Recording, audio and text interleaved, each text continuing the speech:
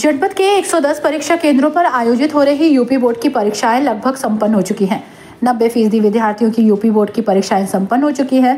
बाकी 10 परसेंट बचे विद्यार्थियों की यूपी बोर्ड की परीक्षाएँ 9 मार्च को संपन्न हो जाएँगी।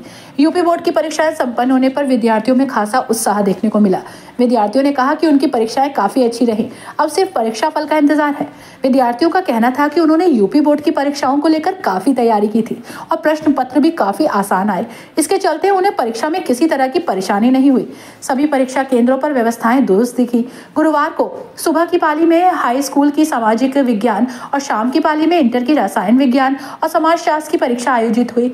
यूपी बोर्ड की परीक्षाएँ संपन्न होने के बाद परीक्षा केंद्रों के बाहर परीक्षार्थियों ने एक दूसरे के साथ जमकर होली खेली। होली पर्व की अग्रिम शुभकामनाएँ दी।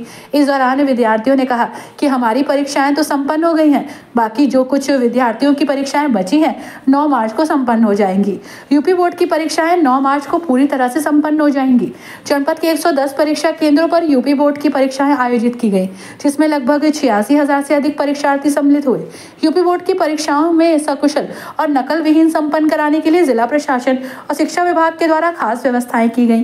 केंद्रों पर सीसीटीवी कैमरों की निगरानी रही। नाम है आपका? वंशिका। वंशी आज आपका कौन सा पेपर था? सोशल साइंस का। तो आज आपके सारे पेपर संपन्न हो गए। हाँ। हाँ, कैसा लग रहा है आपकी परीक्षा संपन्न हुई है? अच्छा लग रहा है रिलैक्स फील हो रहा है। कैसे गए सारे पेपर आपके? बहुत अच्छे। आज आप क्या कर रहे हैं? होली मना रहे हैं क्या कर रहे हैं? होली बना कैसे गए आपके सारे पेपर? अच्छे गए सर। कितने सवाल किए आज आपने सारे मैंने सारे किए। अब आगे क्या तैयारी है आपकी? क्या करने वाले हैं? मैं अभी तो आईएएस की तैयारी करेंगे ट्वेल्थ के बाद इंशाल्लाह। बहुत अच्छा लग रहा है सारे पेपर बहुत अच्छे गए मेरे। और मेरा नाम इकरा है मैं टेंथ में पढ़ती हूँ। मेरी क्लास टीचर माइकल मैम है। कैसे गए आपके सारे पेपर बहुत अच्छे। तो आज आज आपकी परीक्षा संपन्न हो गई? जी खत्म हो गई संपन्न हो गए बहुत खुशी हो रही सारे पेपर खत्म हो गए।